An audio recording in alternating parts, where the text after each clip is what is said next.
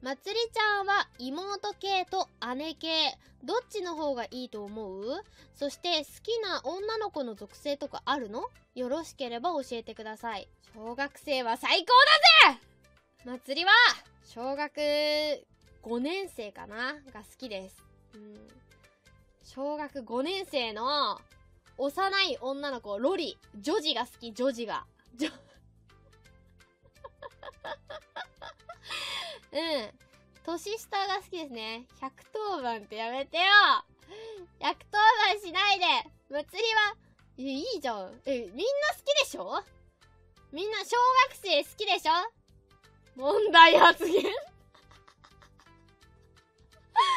小学生大好きなんですよ。私は小学5年生の女の子がなんで好きかっていうと、やっぱその、なんて言うんですか？あのー保健体育の勉強をし始めるかなくらいの年齢が好きなんだよね。え、逆にみんなは妹と姉はどっちが好きなんですかどっちの方が多いんだろうね。まつりは年下好きだけど。女の子ね。男の人はあんまり興味がないあ。あんまり興味が。うん、妹が好きあ、そうなんだ。お兄ちゃん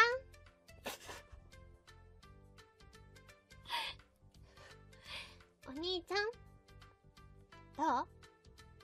妹が好き。よし、松井が妹になったぜ。うん、あ、死んだ。みんなが AWSL。次、松井ちゃん、こんにちは。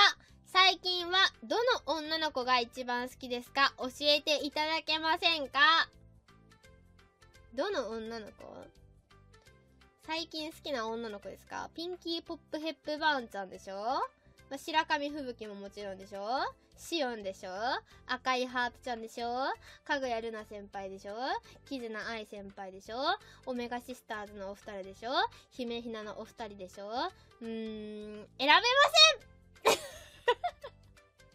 選べないです！女の子、みんな大好き！DD、DD、いや、単押し、単押し。単押し、単押し。DD の単押し。あ、チョコ先生も好き。ミオも好き。みんな好き。うん。みんな好きです。え、いいじゃん。みんなもそうでしょ あ、なんか、どの女の子が好きですかって難しくない？だって。ど、誰が好きですかって言われたら、女の子が好きですって言います。いやでも白神吹雪がやっぱ嫁なんで、祭りの本命は白神吹雪です。うん。吹雪吹雪吹雪吹雪